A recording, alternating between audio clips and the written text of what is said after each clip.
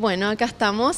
Cuatro estrenos tenemos esta semana. Arrancamos con el más importante que es Tomb Raider, una película que ya tiene varias versiones, ahora han cambiado la protagonista, así que es una muchacha hija de un aventurero que desaparece inexplicablemente cuando ella era una adolescente. Ahora tiene 21 años, pero no quiere saber nada con el imperio que dejó su padre, así que lleva una vida que trabaja de mensajera por las calles de Londres, trabaja solamente para su alquiler porque le basta solamente para eso, pero bueno, ella sabe que su destino lo deparará el tiempo, pero no quiere saber nada con la historia de su padre, aunque la historia que ella sigue y el destino que ella elige seguir la lleva otra vez al destino de su padre. Así que bueno, veremos muy interesante.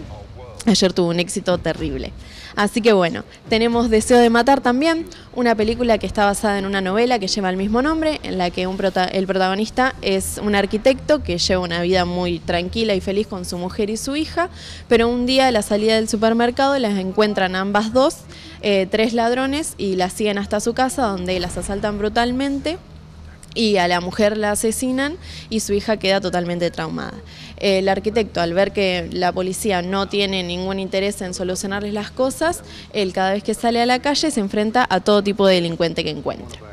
Así que bueno, también muy interesante. Seguimos con Los Inquilinos, una película de terror eh, bueno, de dos gemelos, sí, que viven en una casa, son huérfanos, se la dejaron sus antepasados, pero está llena de espíritus y personas que se van a encargar de hacerles eh, complicar la vida. Así que bueno, tienen horarios para salir, no dejan entrar a ningún extraño porque si no desatan la ira de ellos y les hacen la vida imposible.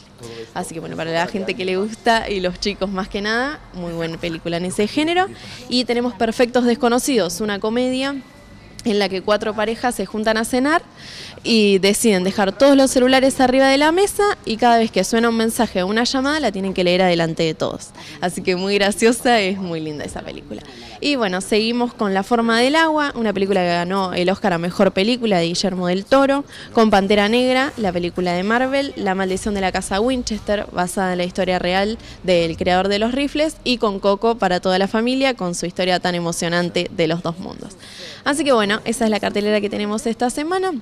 Se pueden eh, comunicar al 43 56 72 o ingresar a nuestra página www.cinesocian.com.ar.